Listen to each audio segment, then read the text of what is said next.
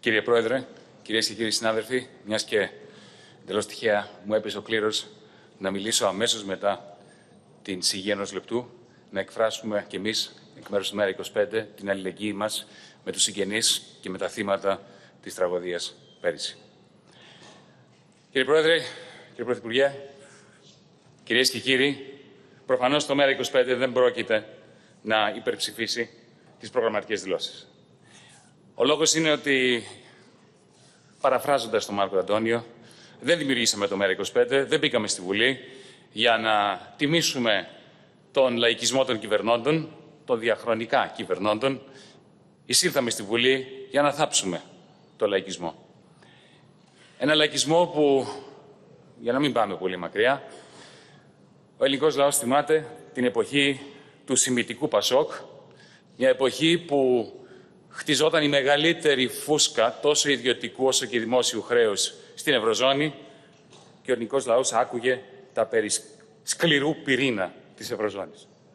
Κατόπιν είχαμε τον λαϊκισμό της καραμανλικής Νέας Δημοκρατίας, λίγο πριν σκάσει η Lehman Brothers και εμφανιστούν οι φούσκες στη χώρα μας που ήταν ο προπομπός της ακολουθίας πτωχεύσεων τραπεζών και κρατών σε όλη την Ευρωζώνη, ακούγαμε το παραμύθι περί θωρακισμένης ελληνικής οικονομίας. Και μετά, όταν έσκασαν οι φούσκες, είχαμε την απαρχή του μνημονιακού λαϊκισμού. Το αφήγημα ότι μετά το κουκούλωμα της μεγαλύτερης χρεοκοπίας στην ιστορία, με το μεγαλύτερο δάνειο σε απόλυτες τιμές που έχει δοθεί στο πιο πτωχευμένο κράτος της Ευρώπης, υπό όρους συρρήκνωσης των εισοδημάτων που δεν ήταν ικανά πριν συρρυκνωθούν να αποπληρώσουν το χρέος, πώς θα ήταν ικανά να αποπληρώσουν το χρέος μετά τη συρρήκνωσή τους λόγω της σκληρής λιτότητας τόσο του παλαιού όσο και του καινούριου δημόσιου χρέους. Ο μνημονιακός λαϊκισμός πήρε τη μορφή του αφηγήματος ότι τη λιτότητα θα τη διώξει η ανάπτυξη που θα φέρει η λιτότητα. Μιλήσατε, κύριοι συνάδελφοι της Νέας Δημοκρατίας, και το εύχομαι να το πετύχετε. Για νέο κεφάλαιο, για νέα αρχή, για επιστροφή στην κανονικότητα. Δυστυχώς, τα δεδομένα, δεν μιλάω για τις προθέσεις σας, τα δεδομένα δεν μας επιτρέπουν να σκεφτούμε έτσι. Απλά ανοίγει ένα νέο κεφάλαιο στη μνημονιακή διαδικασία σε αυτό που εμείς στο ΜΕΡΑ25 ονομάζουμε χρεοδουλοπαρική αγελάς. Δεν είναι κριτική αυτή. Αν θέλετε, είναι οι πρώτες μέρες της κυβέρνησής σας. Έχετε και την αλληλεγγύη μας. Όπως φαντάζομαι είχαμε κι εμείς, τουλάχιστον από τον κύριο Σταϊκούρα, ο οποίος μου την εξέφρασε όταν γνωριστήκαμε το Γενάρη του 2015, γιατί η χώρα μας είναι πιασμένη σε αυτή τη σκοτωδίνη. Του χρέους, της λιτότητας, τη. Ξέρετε, ξέρετε το 2018 και φέτος, το πρώτο εξάμεινο, ποιο είναι το επίπεδο των καθαρών επενδύσεων; Να σας πω. Είναι μείον 4,6% του ΕΠ των καθαρών επενδύσεων. Αυτό παραλαμβάνεται. Αφήστε τα χρηματιστήρια, αφήστε τις τιμές των ομολόγων και τα επιτόκια. Η ουσία είναι ότι περνάμε τον δέκατο χρόνο αρνητικών επενδύσεων σε αυτή τη χώρα. Και τίποτα δεν προειδεάζει ότι θα φύγουμε από αυτό. Κάνατε κάποιες εξαγγελίες. Εμείς κάναμε έναν υπολογισμό τις τελευταίες μέρες για να δούμε τι σημαίνει αυτό δημοσιονομικά. Υπολογίζουμε ότι είναι γύρω στο 1,8-1,9 δισεκατομμύρια οι παροχές οι φοροαπαλλαγές. Από τον έμφυα το υπολογίζουμε γύρω στα 680, πείτε μου αν έχω δίκιο ή όχι. Από την α, εισφορά αλληλεγγύης 308 εκατομμύρια, από το τέλος επιτιδεύματος 193, από το φόρο νομικών προσώπων 690, γύρω στα 1870-1900 εκατομμύρια. Αν προσθέσετε και τις δαπάνες που καλώς θα κάνετε να κάνετε, ιδίως οι προσλήψεις εκπαιδευτικών, νοσηλευτών, ιατρών, εμείς θα τις χειροκροτήσουμε αυτές. Βγαίνουμε γύρω στο το, το πρωτογενές πλεόνασμα για το 2019, αν συνεχιστεί έτσι, και το πρώτο κομμάτι μέρος, ήμιση του 20, θα πέσει στο 1,5-1,6%. Έχετε όμως παράλληλα δεσμευτεί για το 3,5%. Για να το πιάσετε, και εδώ δεν είναι θέμα διαφωνίας μεταξύ μας, γιατί ξέρετε, εμείς οι οικονομολόγοι, εμείς οι οικονομολόγοι ξέρουμε πολύ λίγα πράγματα περί της πραγματικής οικονομίας, σας είμαστε ειλικρινείς. Ένα από τα λίγα που γνωρίζουμε και το γνωρίζουμε καλά. είναι κάτι το οποίο ισχύει αξιωματικά, γι' αυτό το γνωρίζουμε. Γνωρίζουμε ότι το πρωτογενές πλεόνασμα πάντοτε, πάντοτε ισούται με τις καθαρές υπερβάλλουσες επενδύσεις μείον το έλλειμμα τρεχουσών συναλλαγών. Αυτό είναι ένα δεδομένο.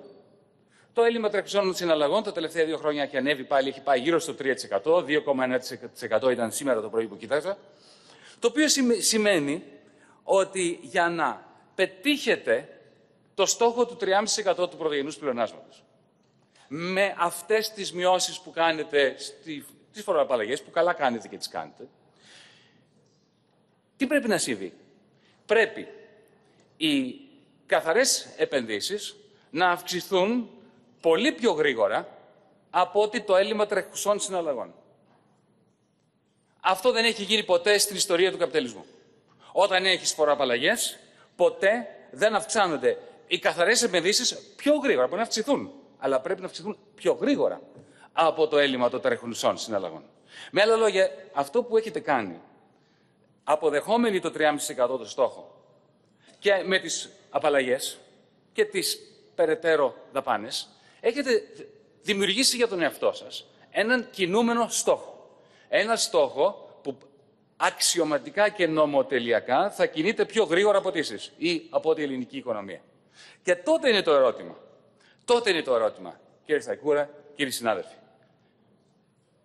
Ποια ρήξη θα κάνετε; Με τους δανειστές, οι οποίοι θα επιμένουν σε νέα ισοδύναμα μέτρα για να ξανανεβάσετε το πρωτογενές στο 3,5% ή με τον ελληνικό λαό; Το αφήνω να αιωρείτε το ερώτημα. Νομίζω ότι όλοι μπορούμε να το απαντήσουμε και δεν κατηγορώ μόνο εσάς και οι σύντροφοι του ΣΥΡΙΖΑ ακριβώς το ίδιο έκαναν.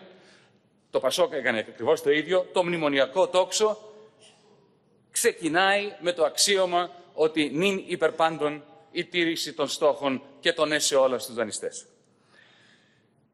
Μια μικρή παρένθεση, ε, ενισχυτικά προς εσάς, πέραν της κριτικής. Μου έχουν πληροφορήσει, κύριε Πρόεδρε, ότι έχω γύρω στα 15 λεπτά σύνολο. Από τη γραμματεία. Έχετε 8, θα υπάρξει μια ανοχή. Ναι, πείτε μου ακριβώς πώς είναι η ανοχή, γιατί δεν θέλω να υπερβώ την ανοχή σας. Η ανοχή είναι κάτι το ευέλικτο. Αλλά... Ναι, δεν θέλω ευελιξία. Αρκετή ευελιξία της αγοράς είχαμε τώρα. Εγώ το βλέπω προς τα κάτω, εσείς προς τα πάνω. Θα τα βρούμε. Συνεχίστε. Όχι, άμα είναι να μην, κάνω, να, να μην προβώσει τη συμβουλή μου στον κύριο Σταϊκούρα. Κύριε Σταϊκούρα, ε, πάρτε για παράδειγμα τον ένθια. Αυτές οι μειώσεις που κάνετε. Εγώ καλά, κα, καθα, καθαρά από πολιτικής και ιδεολογικής πλευράς διαφωνώ απόλυτα. Δεν βλέπω γιατί οι υψηλές ιδιοκτησίες πρέπει να έχουν μείωση. Θα έπρεπε να έχουν αύξηση. Είναι χαμηλά τα ποσοστά του ένθια για τις υψηλές ιδιοκτησίες. Εμείς που μπορούμε να πληρώνουμε πρέπει να πληρώνουμε πιο πολλά. Και πρέπει να είναι 0% ένθια για όλους όσους δεν μπορούν να εξυπηρετήσουν ούτε καν το κόστος της απόσβεσης του κτηριακού τους κεφαλαίου. Το ίδιο και για τη φορολογία των νομικών προσώπων των επιχειρήσεων. Δεν είναι δυνατόν όταν έχουμε ολιγοπολιακά σούπερ μάρκετ να τους μειώνεται το φόρο της επιχείρησης από το 28-29% στο 20%. Δεν υπάρχει κανένα, ιδίως πριν η Επιτροπή Ανταγωνισμού κάνει κάτι για τις απαράδεκτες ολιγοπολιακές πρακτικές των μεγάλων επιχειρήσεων. Εμείς, ως ΜΕΝΑ 25, προτείνουμε 15% φόρος για τις πολύ μικρές επιχειρήσεις. 20 για τις μεσαίες και ας μείνει εκεί που είναι. Καταργήστε την προπληρωμή, προ, προπληρωμή φόρου, αν θέλετε να βοηθήσετε τις μεγάλες επιχειρήσεις. Αυτό είναι το ιδεολογικό όμως κομμάτι και εδώ που διαφωνούμε. Τώρα όμως έρχεται η συμβουλή. Εάν πάτε στις Βρυξέλλες και τους πείτε flat 20%, θα εισπράξετε ένα τεράστιο 9, όχι γιατί ιδεολογικά πρόσκειται στο ΜΕΡΑ25 και όχι σε εσάς, αλλά γιατί ένα πράγμα τους φοβίζει. Δύο λέξεις. Ματέο Σαλβίνη. Ο Σαλβίνη έχει αυτή την πολιτική. Και ο Σαλβίνη χρησιμοποιεί αυτή την πολιτική της μείωσης οριζόντιας των φόρων προς μια ριγκανική κατεύθυνση. Γιατί; Πρώτον, γιατί εξυπηρετεί τα δικά του πολιτικά συμφέροντα και δεύτερον, και αυτό έχει πάρα πολύ μεγάλη σημασία, γιατί είναι ο τρόπος του να διεμβολήσει την Ευρωπαϊκή Ένωση, την Ευρωζώνη, γιατί το όνειρο του κυρίου Σαλβίνη είναι το Italexit και το ξέρετε αυτό. Οπότε, αν εσείς πάτε με τα ίδια νούμερα που πηγαίνει ο κύριος Σαλβίνη, νομίζω ότι θα έχετε πρόβλημα. Αυτή είναι μια φιλική συμβουλή. Και μια άλλη φιλική συμβουλή. Ξέρετε πολύ καλά ότι το προστάσιο του κύριου Ντράγκη τελείωσε. Τετέλεσται. Η κυρία Λαγκάρτ θα γίνει ένα τεράστιο πρόβλημα.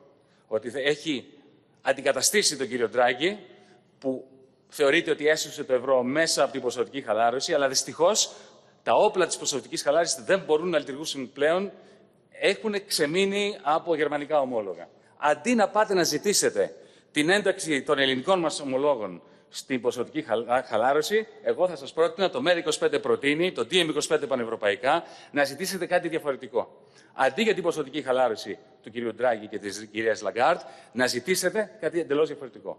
Να ζητήσετε μεγάλη έκδοση ομολόγων της Ευρωπαϊκής Τράπεζας Επενδύσεων για όλες τις χώρες της Ευρωζώνης και για την Ευρωπαϊκή Ένωση γενικότερα, που να υποστηρίζονται από την Κεντρική Τράπεζα, όπως κάνει έτσι κι αλλιώς, αλλά σε πολύ μεγαλύτερο βαθμό. Είναι ο μοναδικός τρόπος να πετύχετε μία συνένεση εντός της Ευρωζώνης.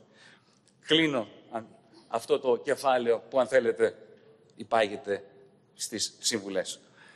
Η ρήξη με τους δανειστές είναι λοιπόν δεδομένη, γιατί η αριθμητική του πρωτογενούς πλεονάσματος είναι τέτοια. Όταν θα κάνετε τη ρήξη με τον ελληνικό λαό, οι ανισότητες που θα δημιουργήσετε θα είναι ακόμα μεγαλύτερες από τις υπάρχουσες απαράδεκτες απάνθρωπες ανισότητες. Την ίδια στιγμή θα κάνετε δωράκια, το έχετε πει εσείς ίδιοι, στην παρασιτική μας ολιγαρχία. Την ίδια στιγμή βλέπουμε να μας έρχεται η ιδιωτικοποίηση του νερού. Μιλήσατε εσείς οι ίδιοι για την ιδιωτικοποίηση της ΔΕΗ. Κύριε Χατζηδάκη, θα ήθελα να μου κάνετε μια χάρη. Σας παρακαλώ, μην ξαναναφερθείτε ποτέ ως κάτι θετικό για σας, ότι την περίοδο τη δική σας ή λόγω της εκλογής σας αυξήθηκε η τιμή της μετοχής. Της ΔΕΗ. Αυτό δεν είναι σωστό. Γιατί να σας θυμίσω κάτι. Θυμάστε την Enron. Θυμάστε τη Lehman Brothers. Μερικά 24 ώρα πριν κλείσουν, όταν ανακοινώθηκε η πώλησή τους, ανέβηκε η μετοχή. Τα χρηματιστήρια λειτουργούν με τους δικούς τους κανόνες, δεν σημαίνει τίποτα για τη βιωσιμότητα της επιχείρησης. Η ιδιωτικοποίηση που έφερε ο ΣΥΡΙΖΑ, η μερική ιδιωτικοποίηση, η ουσιαστική παραχώρηση προσόδων της ΔΕΗ σε ιδιώτες, υπό την πίεση της Τρόικας, ήταν ο λόγος για την απαξίωση της ΔΕΗ αλλά θα επιφυλάσσουμε να μιλήσω άλλη στιγμή για αυτά. Αυτό που μας θορυβεί ως μέρα 25 είναι ότι ο συνδυασμός της αποτυχίας της δημοσιονομικής σας πολιτικής, για την οποία ευθύνεται το 3,5%. Η όξυνση των κοινωνικών εντάσεων, του ταξικού πολέμου εναντίον των αδύναμων και παράλληλα ο πλουτισμός μιας παρασιτικής ολιγαρχίας θα οδηγήσουν σε ένα συνδυασμό καταστολής και περαιτέρω μετανάστευσης των παιδιών μας.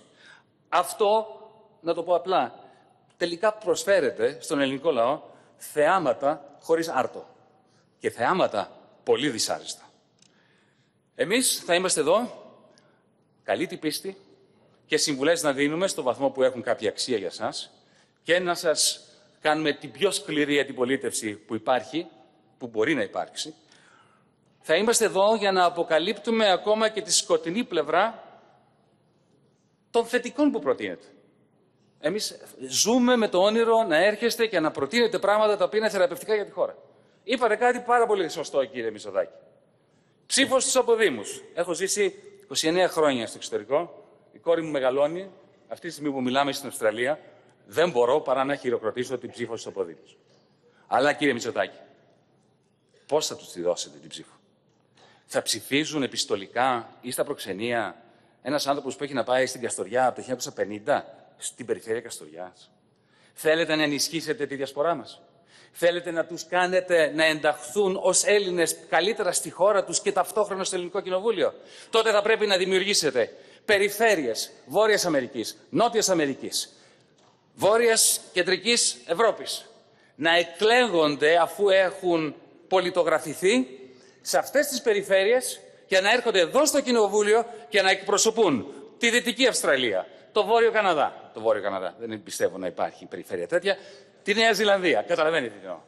Τότε εμείς θα υπερψηφίσουμε. Αν απλά τους χρησιμοποιείτε ως ψηφοφόρους που ψηφίζουν σε περιφέρειες με τις οποίες δεν έχουν πλέον επαφή, θα είμαστε κάθετα εναντίον σας. Ο Υπουργός Ψηφιακής Πολιτικής μίλησε για ψηφιοποίηση, το επικροτούμε. Αλλά ο διάβολος ζει στη λεπτομέρεια. Μίλησε για G-Cloud. Σε ποιον θα ανήκει αυτό; Στην Google. Σε κάποια από τις μεγάλες εταιρείες που γνωρίζουμε πάρα πολύ καλά ότι ούτε μπορούμε να τους εμπιστευτούμε τα δεδομένα του λαού, του λαού μας και του κράτους μας, ούτε και πρέπει να τους εκχωρήσουμε το έργο το οποίο θα πρέπει να παραχθεί λογισμικά εδώ στη χώρα από δικά μας startups, από δικές μας εταιρείες. Μιλήσατε για 5G, δίκτυα. Ποια είναι η θέση σας για τη Huawei; Η Huawei αυτή τη στιγμή αποτελεί το κέντρο των γεωπολιτικών συγκρούσεων. Είναι η μοναδική εταιρεία που έχει τη δυνατότητα να μας δώσει αυτή τη τεχνολογία. Αλλά ο κύριος Τραμπ κάνει πόλεμο μαζί της. Εσείς ποια θέση θα, θα κρατήσετε; Μιλήσατε για αυτοπληροφόρηση του δημοσίου. Κύριε Βαρουφάκη, Μακάρι. κύριε Βαρουφάκη, μιλήσατε για 15 λεπτά. Κλείνω. Κλείνω. Μιλήσατε για αυτοπληροφόρηση του δημοσίου. Θα νομοθετήσετε την απαγόρευση σε δημόσιο υπάλληλο να ζητάει από πολίτη πληροφορία που έχει το δημόσιο. Μόνο τότε θα λειτουργήσει. Για να κλείσω. Εμείς θα είμαστε εδώ για να αποκαλύπτουμε την ταξική δυστοπία που θα φέρει η αποτυχία που είναι προδιαγεγραμμένη λόγω της μνημονιακής Ελλάδας. Εμείς θα είμαστε εδώ γιατί η ρήξη θα γίνει.